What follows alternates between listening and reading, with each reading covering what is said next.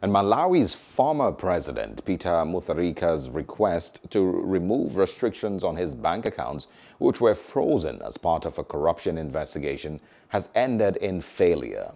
Malawi's High Court dismissed his application to have his accounts unfrozen by the country's anti-graft agency. Anti-Corruption Bureau last August froze the personal bank accounts of Mutharika and his wife, uh, in a probe seeking to uncover his role in a $6.6 million cement scandal.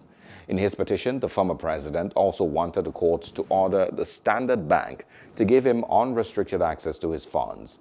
The Bureau argues that Mutharika's tax number was used to import cement duty-free between 2018 and 2019.